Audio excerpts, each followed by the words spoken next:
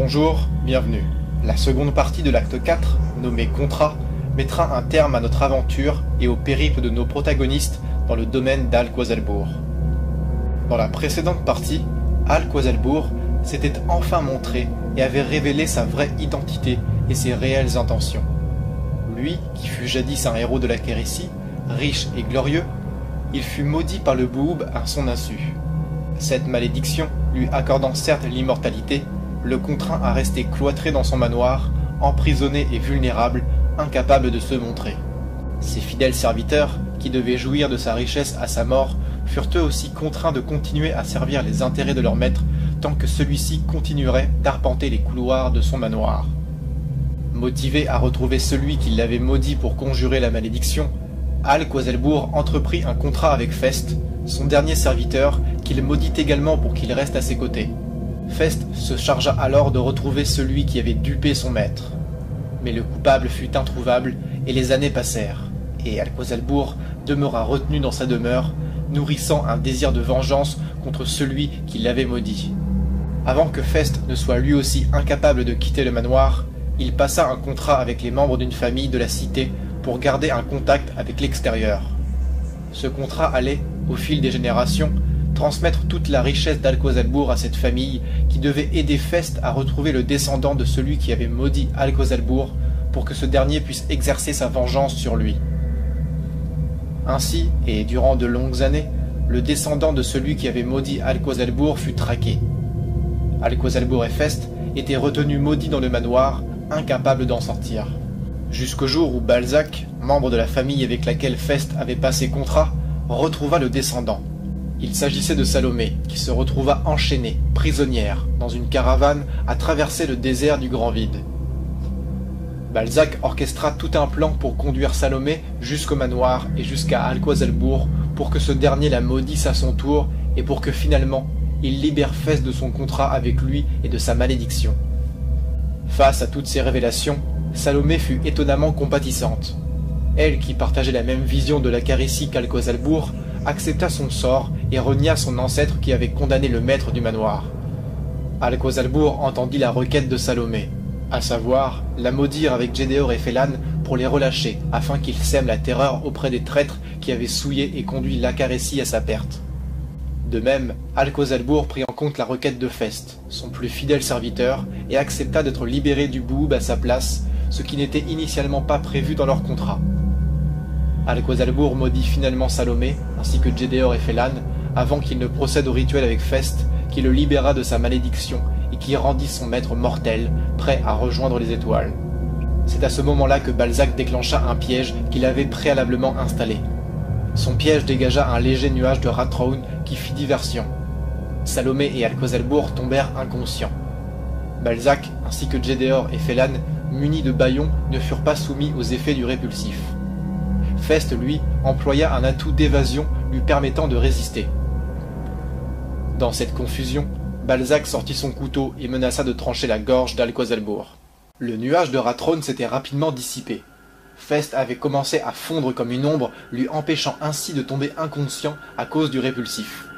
Mais alors qu'il allait se jeter sur Balzac, Fest se stoppa net, voyant que son compère avait sorti un couteau de sa ceinture et menaçait de trancher la gorge d'Alcozelbourg qui était tombé inconscient. Quelle est encore cette ville fourberie? Balzac Quelle était donc cette traîtrise Et que comptes-tu faire avec cette lame sous la gorge de notre maître Réponds, parjure Balzac resta un moment silencieux, maintenant son couteau sous la gorge d'Alcozelbourg. Il regarda hâtivement autour de lui. Il avait le souffle rapide. Gédéor et Félan, eux, assistèrent à la scène, bâillonnés et affolés, mais incapables de bouger. Puis Balzac répondit. Notre maître? Non, ce n'est plus notre maître à présent. En tout cas, ce n'est certainement plus le mien. Fest continua de fixer férocement Balzac, mais il était prêt à lui fondre dessus en un éclair. Ne t'avise pas de faire un seul pas, Fest, ou je jure que je le décapiterai. Laisse-moi t'expliquer deux trois petites choses avant que tu ne tentes quoi que ce soit. La tension était palpable. Fest voyait que Balzac ne bluffait pas, et qu'il était prêt à trancher la gorge d'Alquazalbourg à tout instant. Il ne tenta donc rien. il se résigna à ne pas réagir et à écouter ce que Balzac allait lui dire. Ce dernier s'adressa alors à Gédéor et Félan. Premièrement, je tiens à m'excuser profondément. J'ai échoué. Je n'ai pas tenu ma parole. Je le regrette, sincèrement. Je regrette sincèrement de ne pas vous avoir sauvé, de ne pas avoir empêché Alquazalbourg de vous maudire. Mais il est maintenant trop tard. La malédiction est en train de prendre possession de votre corps et vous ne pourrez vous en défaire. Je ne pouvais réagir plus tôt. Je me devais d'attendre que le rituel entre Alquazalbourg et Fest se fasse pour déclencher le piège, car autrement, j'aurais été en position de faiblesse. Mais je ne pensais pas que vous seriez maudit, comme Salomé. Tout comme je n'avais pas prévu que ce soit Alquazalbourg qui soit libéré du Boob à la place de Fest. La Ratrone a certes fait fuir le Cavrou, et j'ai pu prendre avantage de la confusion, comme je l'avais prévu. Mais ce devait être Fest, libéré de la malédiction et tombant inconscient, me permettant d'ôter la tête d'Alquazalbourg. Les choses se sont déroulées différemment. Je ne pouvais pas prendre le risque de faire face aux deux sans qu'ils ne soient affaiblis. J'ai donc dû attendre le rituel. Tout cela était donc minutieusement prévu, Balzac Depuis quand avais-tu entrepris cette traîtrise auprès du maître? Initialement, je ne devais pas être dans le manoir. Tu le sais bien, ça, n'est-ce pas, Fest? Je suis revenu aider Gédéor, Den et Félan après qu'ils soient tombés dans un de tes pièges, les jetant en pâture au Cavrou.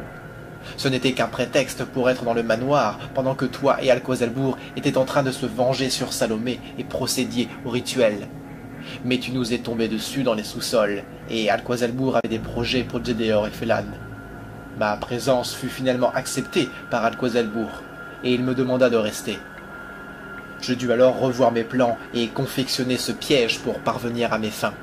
J'ai été dupe à penser que je pourrais sauver Gédéor, Den et Félan du manoir et de ta malice, et à penser qu'Alquazalbourg aurait maudit Salomé avant de te libérer de cette malédiction, me permettant de me glisser derrière lui pour lui trancher la gorge.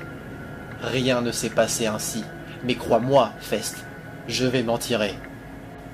Oh non, crois-moi, Balzac, que cette fois-ci, tu ne t'en tireras pas indemne. Tu vas laisser le maître rejoindre les étoiles alors que tu seras dévoré par Elveref. C'est tout le sort que tu mérites, parjure Non, non, non. Vois-tu, Fest, ancien collègue, comme je te le disais plus tôt, Alquazalbourg n'est plus mon maître. Le contrat qui te liait à lui s'est aussitôt évaporé dès lors que Salomé fut maudite et que votre rituel touchait à son terme. Et tu le sais bien, le contrat que tu avais passé il y a très longtemps avec mes ancêtres liait ma famille et donc moi-même à Alquazalbourg et à ton contrat.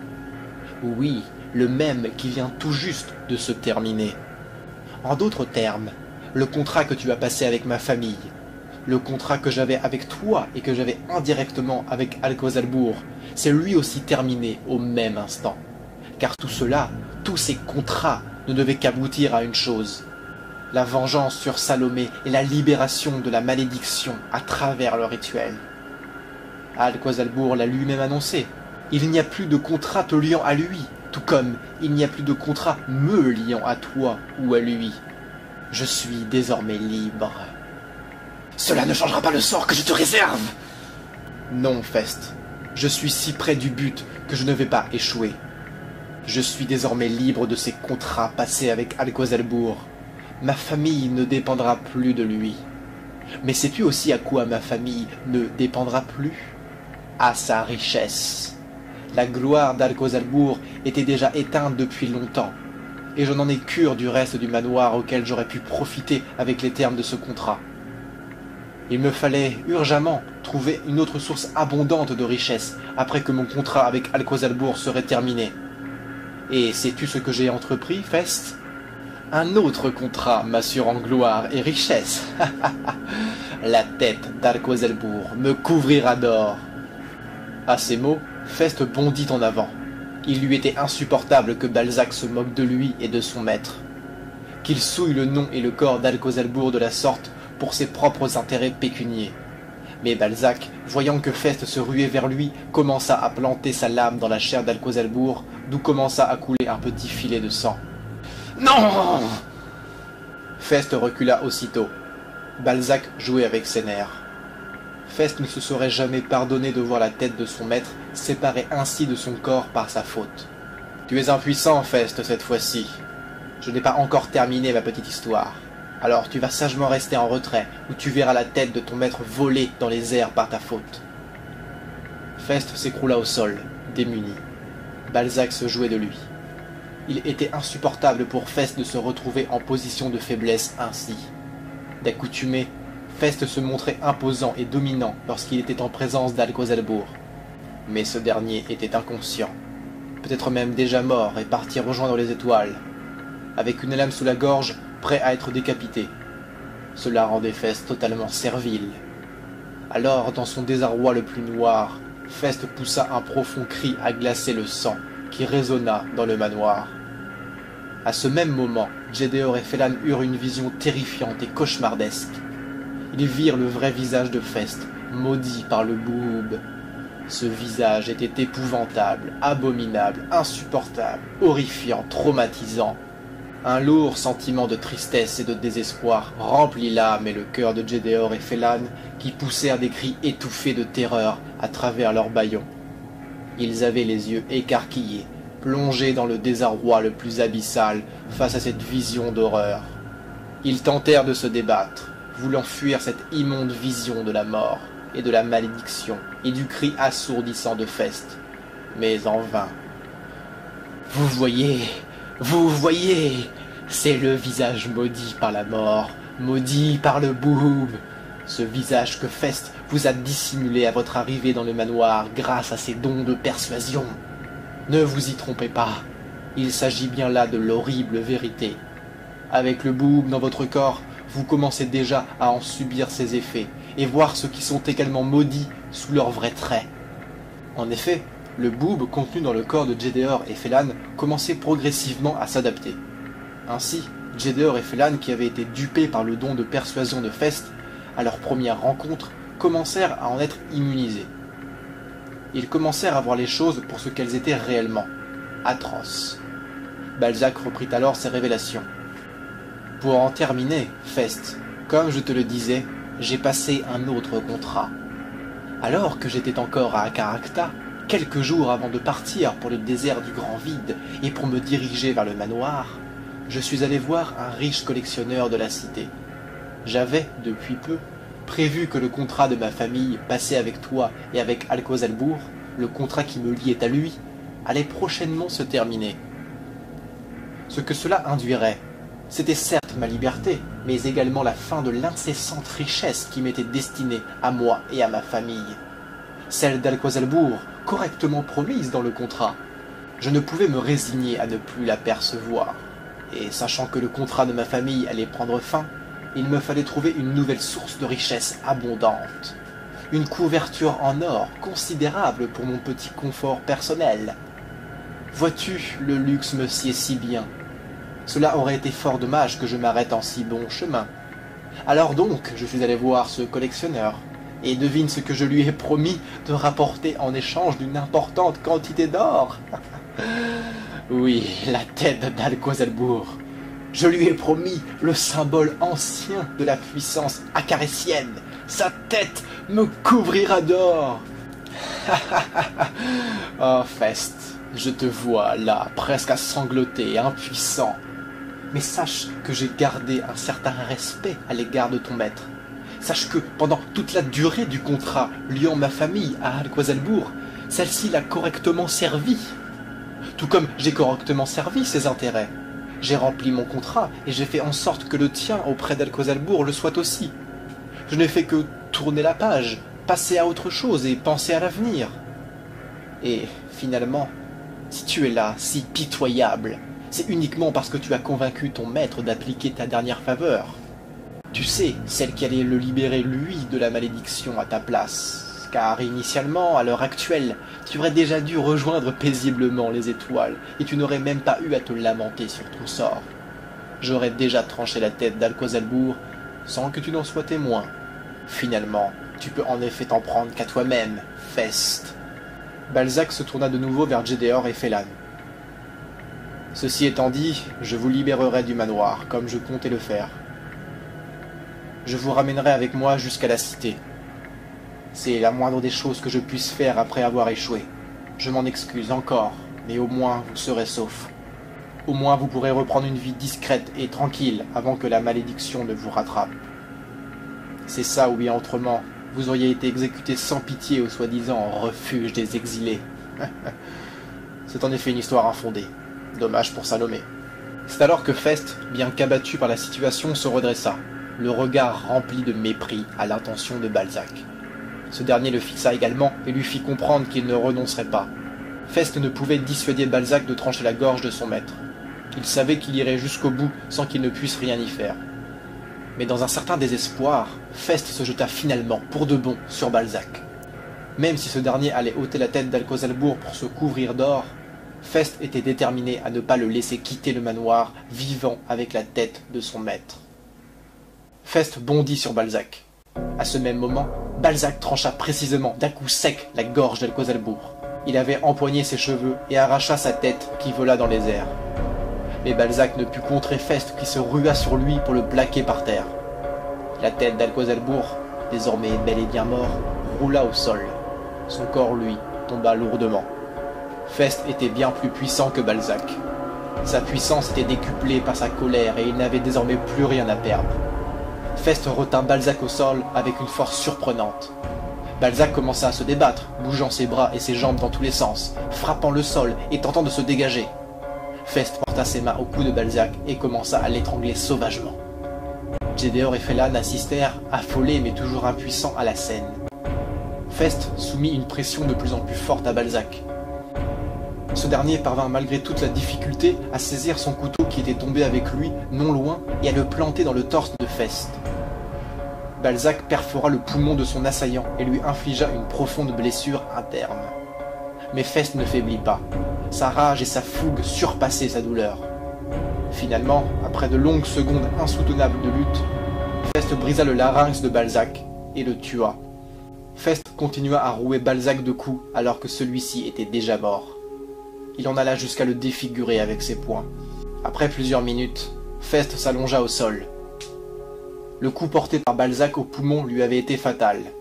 Fest perdait beaucoup de sang et commençait à avoir du mal à respirer. Bien que les victimes du Bohub soient des morts vivants, ils ont encore du sang coulant dans leurs veines. Celui-ci n'est plus approvisionné en nutriments dès lors que les victimes du Bohub n'ont pas besoin de se nourrir.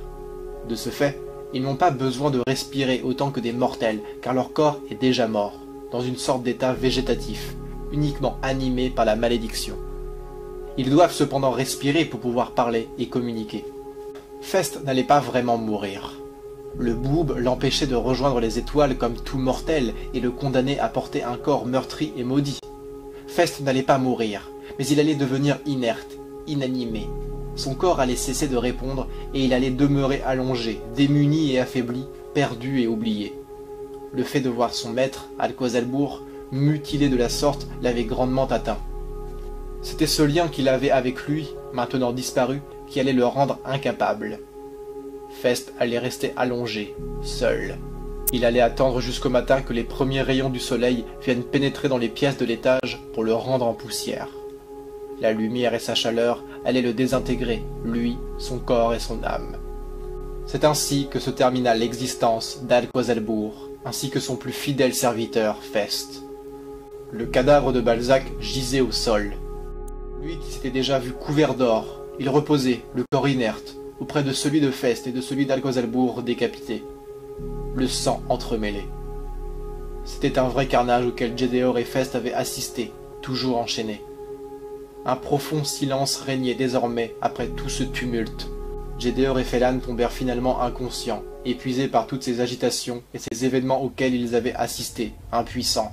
Ils étaient restés des heures suspendus par une chaîne leur rongeant les poignets, et le boob commençait à les infecter et à s'installer dans leur organisme.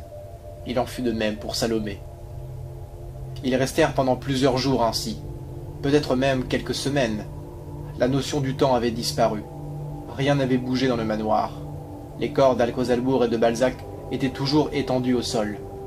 Celui de Fest avait disparu dès que le soleil l'avait atteint et réduit en cendres. Le silence régnait, et le désert était toujours omniprésent autour. Puis, après un certain temps, Gédéor, Salomé et Félan furent tous réveillés plus ou moins en même temps. Ils furent tous conscients, mais surtout, ils se retrouvèrent tous au sol, libérés de leurs chaînes. Au début, ils ne comprirent pas ce qui leur arrivait. Ils se demandèrent même où ils se trouvaient et si tout cela n'avait pas été un mauvais cauchemar. Malheureusement pour eux, leur calvaire n'était pas encore terminé. Ils étaient encore dans le manoir, mais comment s'étaient-ils libérés de leurs entraves? Est-ce que quelqu'un les avait aidés? Non. Ce n'est qu'après quelques regards autour d'eux qu'ils comprirent la terrible vérité. Leurs chaînes n'avaient pas bougé. Ils s'étaient eux-mêmes libérés. Le fait d'être pendant des jours, si ce n'était plus, sans s'alimenter, leur fit perdre beaucoup d'énergie. Leur corps avait puisé dans ses ressources et ils perdirent beaucoup de poids et de masse musculaire. Leurs poignets, enchaînés, avaient fondu ainsi que la graisse sur leurs os, les permettant ainsi, au fil du temps, de glisser entre leurs chaînes et de s'en retrouver libérés. Ils étaient terriblement maigres, squelettiques, fatigués et épuisés, comme si leur force avait été aspirée.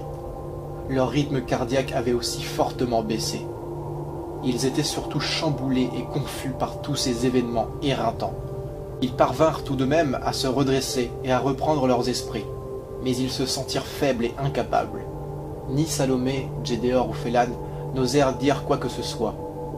Ils échangèrent plusieurs regards avant d'essayer d'avancer dans une autre pièce pour fuir l'odeur nauséabonde de décomposition émanant des corps de Balzac et d'Alcozalbourg gisant à leurs pieds. Une odeur infâme qui les répugnait.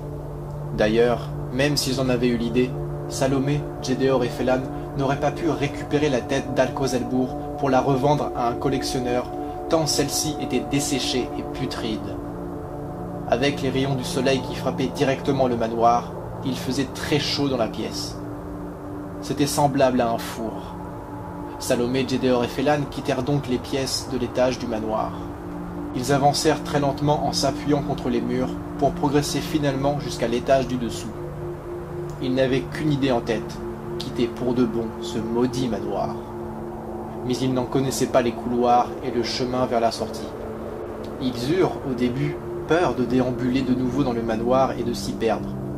Mais étrangement, ils n'eurent pas cette difficulté. Ils n'eurent pas cette sensation confuse de progresser dans un labyrinthe comme la première fois qu'ils avaient exploré le manoir. Ils se sentirent, à l'inverse, plus lucides et plus à même de se repérer et de trouver une sortie. En réalité, c'était le boob maintenant développé dans leur organisme qui avait dissipé cet état brumeux que Fest leur avait insufflé à leur première rencontre dans le manoir.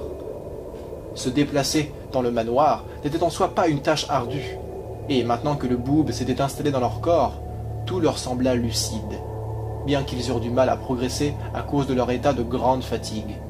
C'est ainsi qu'ils parvinrent dans une pièce abandonnée du manoir, une pièce en piteux état située à l'arrière de la bâtisse. Le plafond s'était même en partie effondré, laissant ainsi une ouverture où la lumière pouvait pénétrer. C'était là une chance de sortie pour nos trois survivants.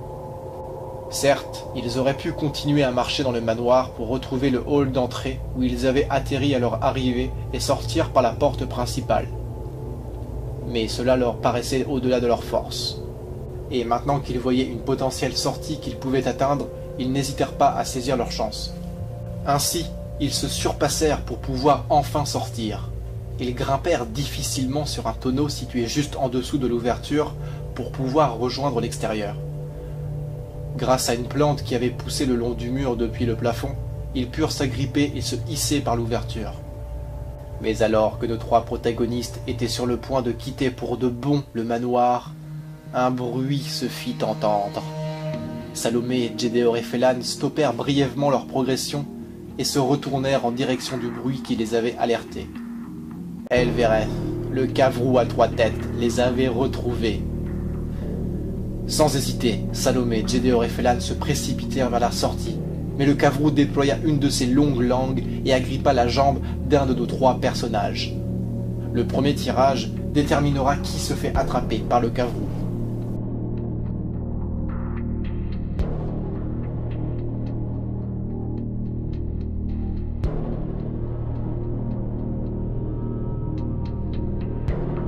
La langue du cavrou vient retenir la jambe de Gédéor et d'un coup sec, Le monstre le propulse en arrière et le plaque violemment au sol. La chute est si brutale et le corps de Gédéor si fragile qu'il s'en brise le coccyx et se paralyse, cloué au sol, scellant ainsi son sort. Mais le cavroux déploya sa seconde langue et tenta de nouveau d'attirer une proie au sol. Le second tirage déterminera qui sera la prochaine proie du monstre.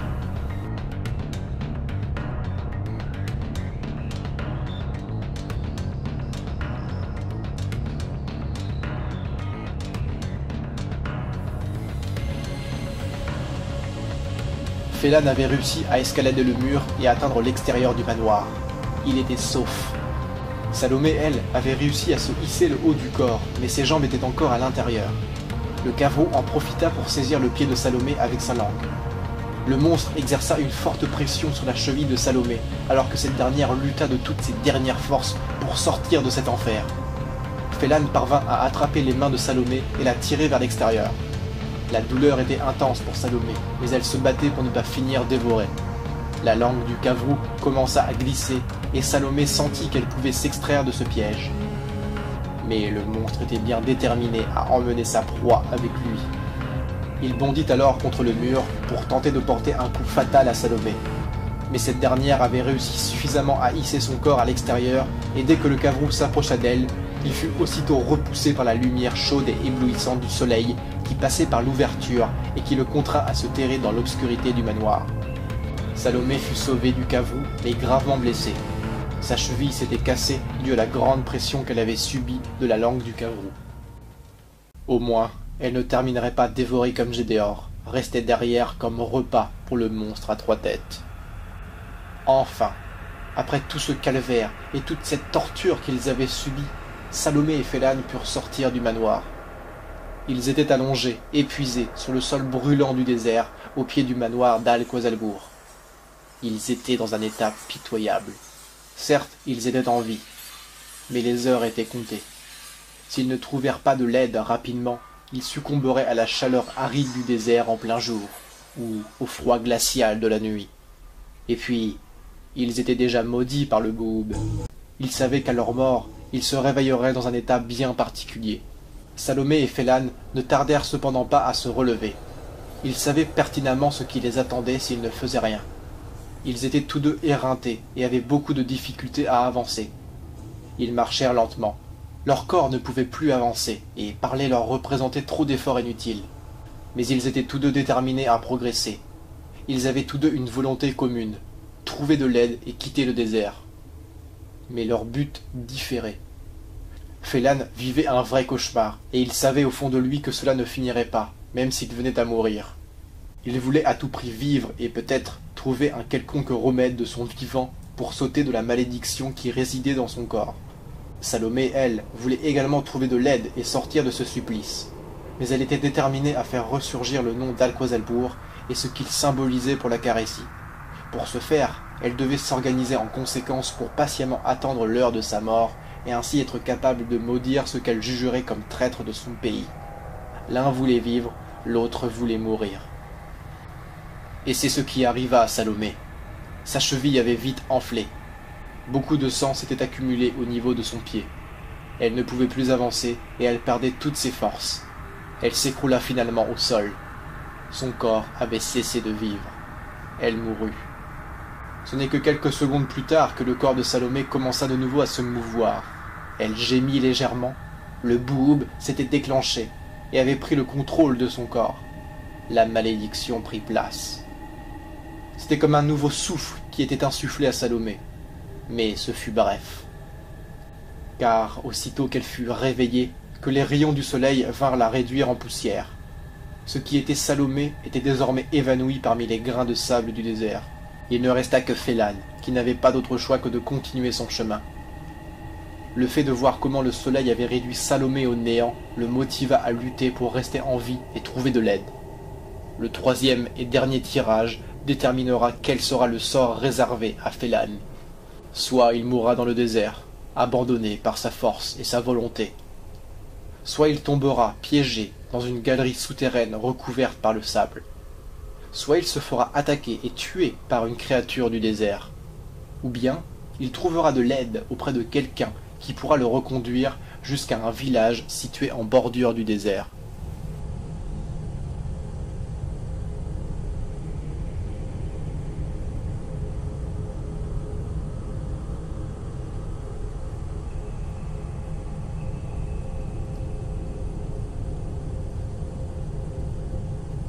Félan continua à marcher des heures durant, à errer, perdu, dans le désert du grand vide, sans savoir où il allait. Le soleil commença à se coucher à l'horizon et la nuit à s'installer. Au bout d'un certain temps, Félan s'écroula au sol. Ses forces et sa volonté l'avaient abandonné. Il n'y avait plus aucun espoir. Il savait qu'il allait terminer comme Salomé. Il savait que la mort était proche, tout comme le bouhoub qui allait se réveiller en lui. Allongé sur le sable, il poussa enfin son dernier souffle et mourut. Le soleil vint le réduire lui aussi en poussière. Ce qui fut jadis Félan fut balayé par le vent, oublié. C'est ainsi que se termine la partie 2 de l'acte 4 et l'histoire du domaine d'Al-Quazelbourg. Gédéor, Salomé, Den, Félan, aucun d'eux n'avait survécu au manoir. Tout ce périple ne fut que souffrance et désolation. Gédéor, Den et Félan s'étaient retrouvés malencontreusement dans la même caravane que Salomé. Cette dernière représentait tant de choses pour Alcozelbourg, qui, au fil du temps, avait tout mis en œuvre pour la retrouver et se venger de la malédiction qu'il avait été victime en son temps. Salomé parvint à trouver un terrain d'entente avec son ravisseur pour qu'elle soit relâchée, mais cela échoua dès lors que Balzac, motivé par la fortune, interromput les plans de son ancien maître. Finalement, Alcozelbourg fut libéré de sa malédiction et redevint mortel, lui permettant ainsi de rejoindre les étoiles. Fest, son plus fidèle serviteur, demeura maudit et fut témoin de la décapitation de son maître par Balzac. Il se déchaîna sur Balzac et le tua avant qu'il ne succombe de sa blessure et qu'il termine en poussière. De leur côté, Salomé et Félan purent quitter le manoir. Den, lui, avait trouvé la mort dans les sous-sols, et Gédéor termina dévoré par le cavrou. Le désert du grand vide eut finalement raison de Salomé et Félan, qui furent réduits eux aussi en poussière. À Al-Quazelbourg, son domaine et son histoire avaient été longtemps oubliés. Pendant un instant, il eut l'espoir de faire ressurgir son nom à travers la Carétie. Mais désormais, tout était bel et bien terminé et oublié. Merci d'avoir suivi cette histoire. Au revoir.